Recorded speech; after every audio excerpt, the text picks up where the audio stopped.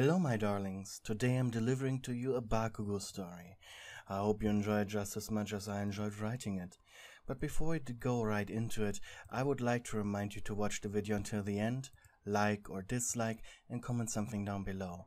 This enhances my standing in the YouTube algorithm, and the higher my standing in the YouTube algorithm, the more people will watch my videos. The amount of people that have been telling me that I'm underrated has been growing, while the views have been going down, which is a paradox that I find rather strange. So, if you can, if you want, and you know, I would be eternally grateful to you if you could share my videos around. If you can get just one person interested in my videos, again, I'd be eternally grateful to you.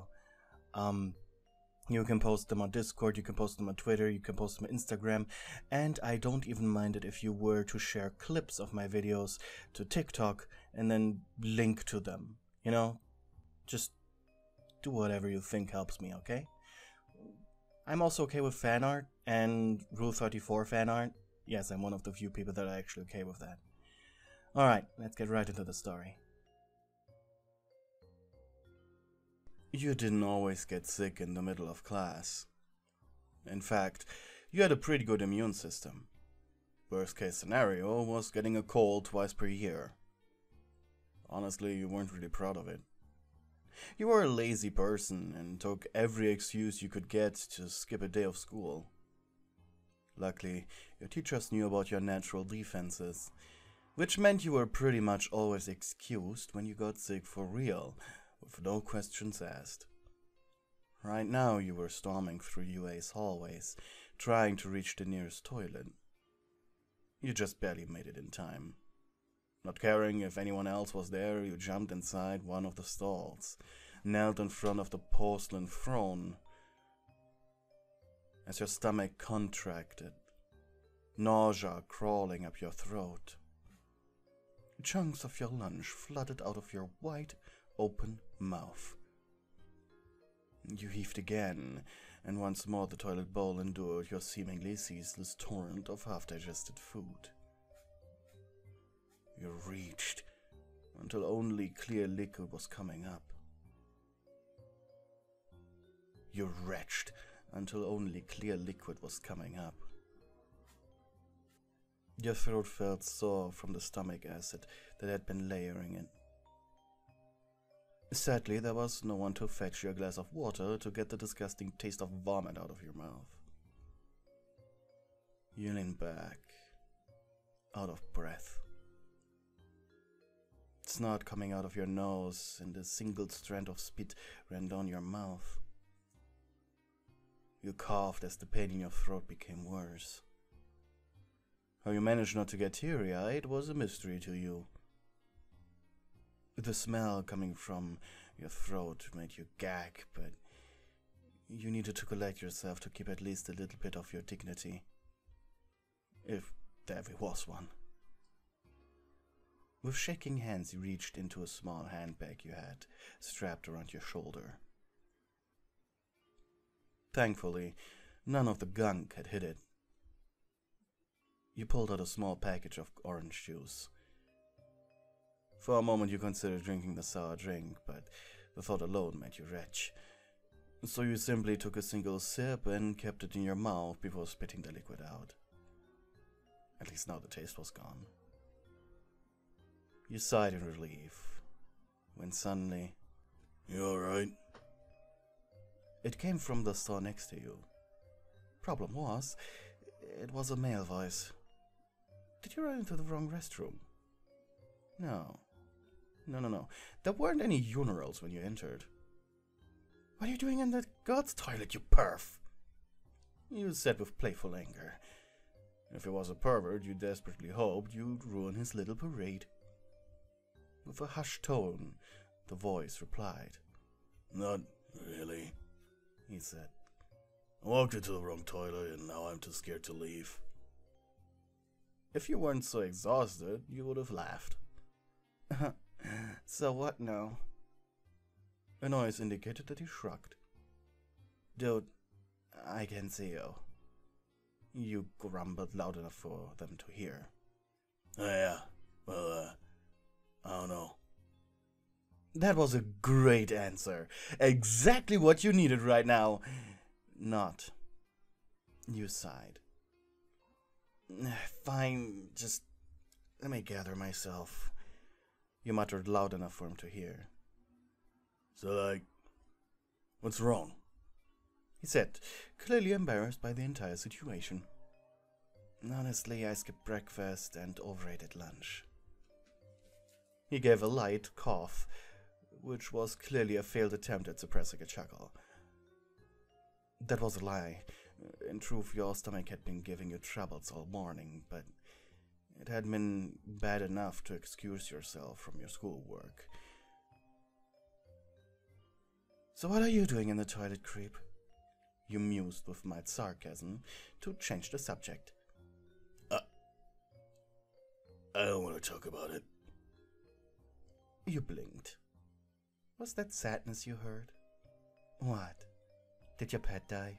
If it did, sorry for being blunt. He gave a sad chuckle. Uh, just one of my classmates. You blinked. The more words he spoke, the more you could pinpoint who that voice belonged to. You had a good memory when it came to voice, just not names. What's wrong with him? Okay. What's wrong with them? He sniffled. I. Wait, Bakugo? You interrupted with a surprised shout, and he went quiet. Wait, what is Mr. I'm better than all of you doing crying in the toilet? You left a real good impression during the tournament. Only now you realized you interrupted him. Oh, sorry. Bakugo sniffled. It's fine. Not crying. He growled. You sighed internally. You were way too exhausted to just leave, and too curious about this situation to just tell him to shut up. With a shrug, you accept your fate of playing backyard psychiatrist. Okay, so what's wrong with your classmate?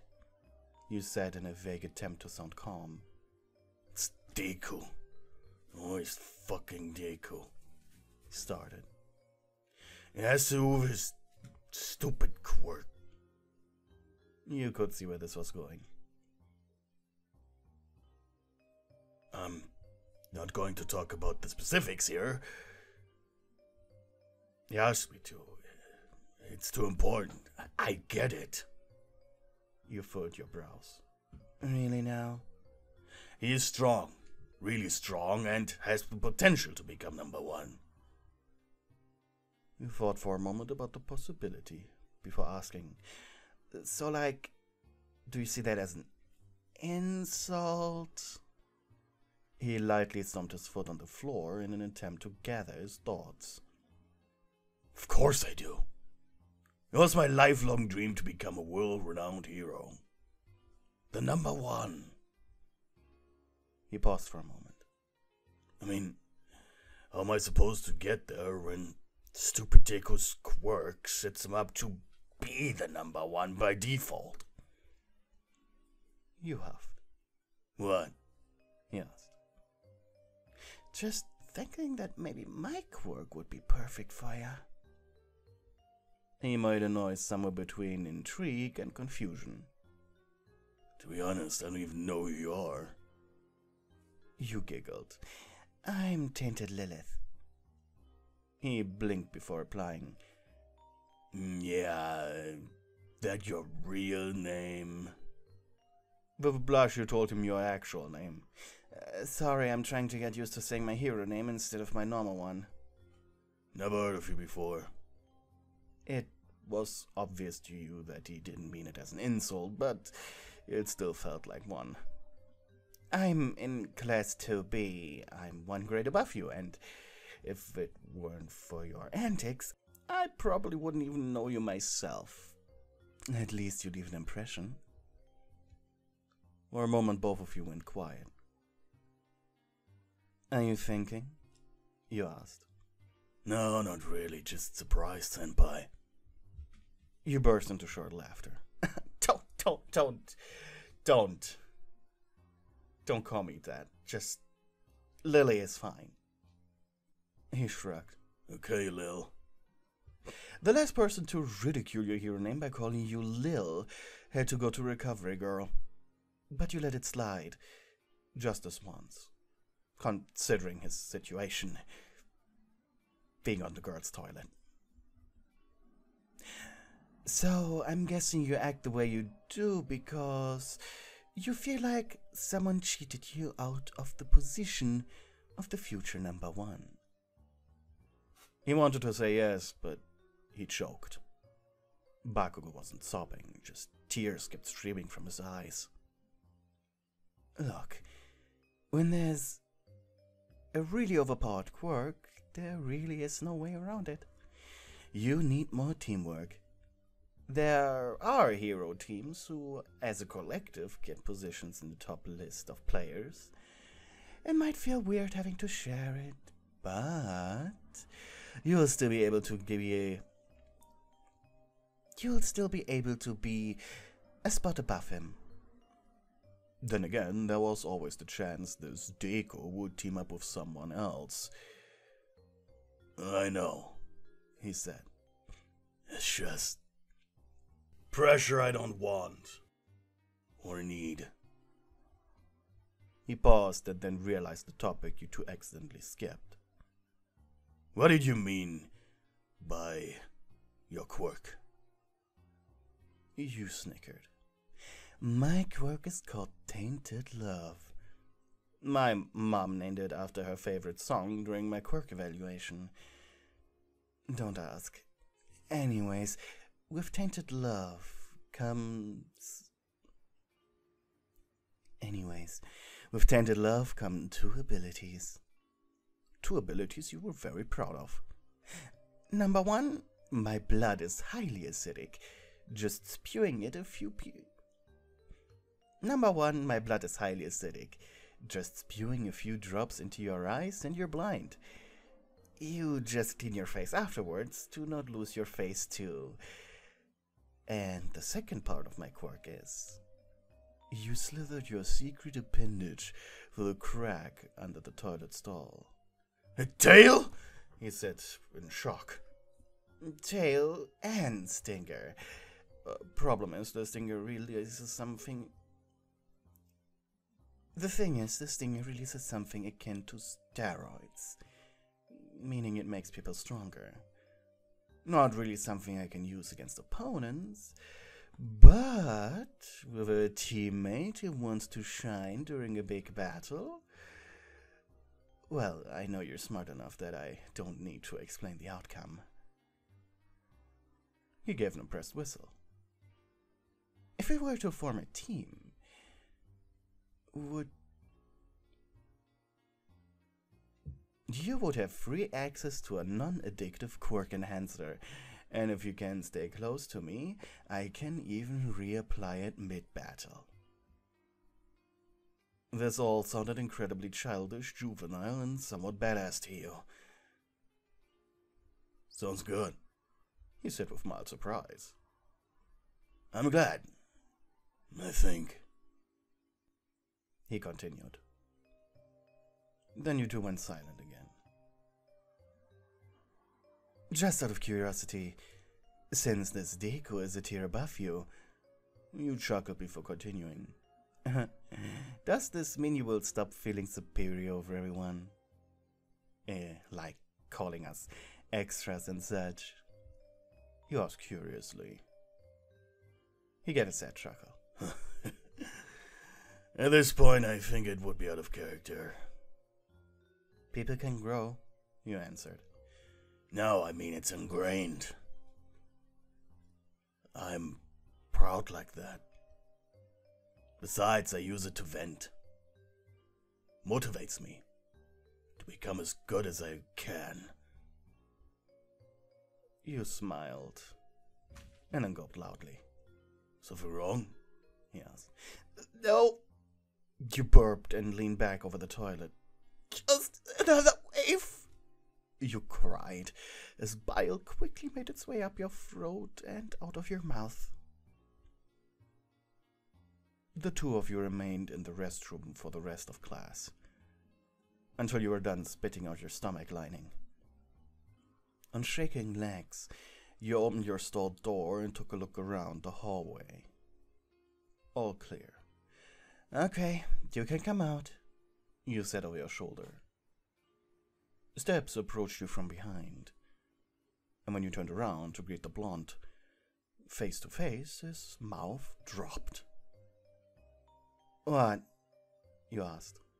You're. I'm what?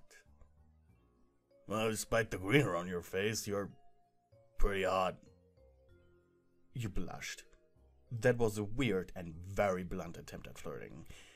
Probably a revenge for talking about a potential dead pet. Only now you notice that he was roughly one hand length smaller than you. And with a grimace, you ruffled his hair. Okay, I'll go to Recovery Girl for the evening. When I feel better, you know where to find me. You winked before clutching your stomach, slowly walking into the opposite direction of where you came from, towards the nurse's office. Bakugo, however, just stood there dumbfounded. Uh, where's that exactly? He asked loud enough for you to hear in your direction. The dorms of 2B, you dork! You replied, shouting over your shoulder. Who the hell are you calling dork? He answered angrily. Trying to contain yourself, you turned around, quickly approaching him. Defiantly, he looked into your eyes when your noses were almost touching. But you simply muttered, The cute bastard right here in front of me. Then you softly kissed his forehead, and he blushed hard. Next one will be on the mouth if you act nice. And I'm no longer sick. Got it? You gave him a cocky grin and winked, before once again turning around, leaving Bakugo behind. He was a speechless and blushing mess.